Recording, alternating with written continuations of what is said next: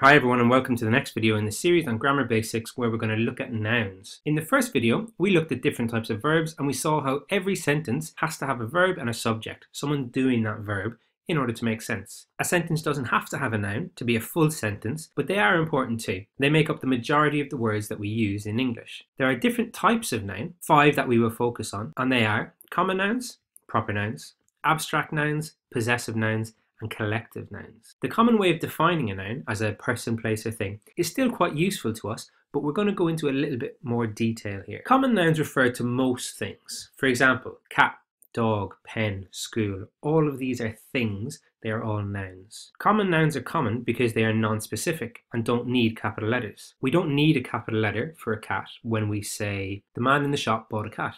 We don't need a capital letter for school when we say, I love going to school. And we don't need a capital letter for pen when we say, for my birthday, I got a gold pen. When a noun is a proper noun, however, a capital letter is required. So when we move from just cat, any old cat, to my cat, Mr. Tiddles, then it becomes a proper noun and is now specific to one particular cat, Mr. Tiddles. Similarly, with the sentence, I love going to school, there is no need for a capital letter, but if it becomes, I love attending St. Bernard's College, it is specific and it needs capital letters. An abstract noun is a thing that is intangible. It doesn't physically exist. You can't touch it or put it in a drawer, but it is still considered a thing. Some examples of abstract nouns are hunger, capitalism, faith, love. These are in contrast to concrete nouns, things we can touch and feel, like a chair or a brush or a tree. A possessive noun tells us about who owns something or in whose possession it is. To create the possessive form of a noun, we usually have to add apostrophe s at the end of it. So for example,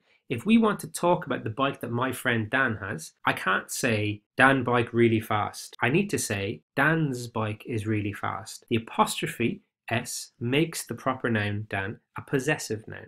And finally, collective nouns. A collective noun is one that describes a group of things. There's a huge variety of collective nouns. A team, for example, refers to a group of people playing sport together or working together. But some of the best known collective nouns refer to animals. And here are some examples. A flock of sheep, a troop of apes, a pod of dolphins, a swarm of wasps, a caravan of camels, a litter of kittens, and a pride of lions. But remember, Although the noun refers to more than one animal, one sheep doesn't make a flock. The noun itself is singular.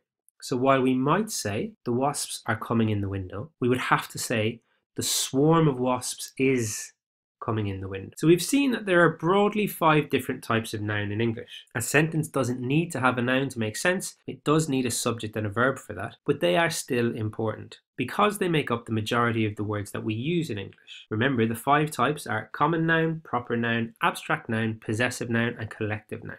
I hope that you found this video useful and if you haven't already subscribed, please do. Next in the series on grammar, we're going to be looking at adjectives and adverbs. Please leave a comment if you have a question or a suggestion for other things that we might cover.